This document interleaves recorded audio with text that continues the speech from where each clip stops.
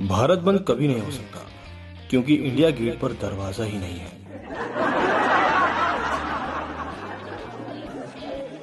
अगर यह लॉकडाउन ऐसा ही चलता रहा तो आने वाले दिनों में यह रविवार अपनी इज़्ज़त खो देगा।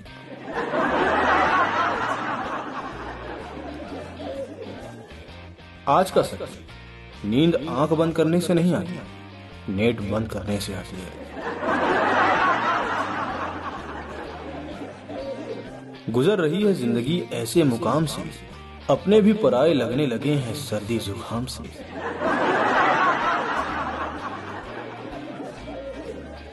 जब तक दवाई नहीं, तब तक ढिलाई नहीं। लगातार हाथ धोते रहिए। कभी नौकरी से, कभी सैलरी से, कभी पेंशन से, कभी बिज़नेस से। सरकार आपके साथ है।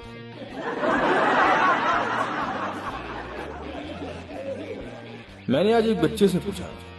इस दुनिया में सबसे शक्तिशाली कौन है? बच्चा बोला कोरोना वायरस। मैंने कहा, वह कैसे?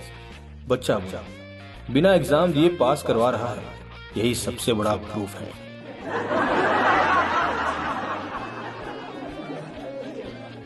कोरोना के कारण महिलाएँ एकत्र नहीं हो पा रही हैं।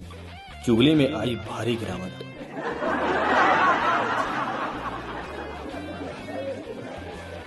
कोविड गाइडलाइंस के मुताबिक, अगर सारे भारतीय दो मीटर की दूरी रखेंगे तो आधे भारतवासी तो पड़ोसी देश में पहुँच जाएँगे, एक चिंतित पटवारी। में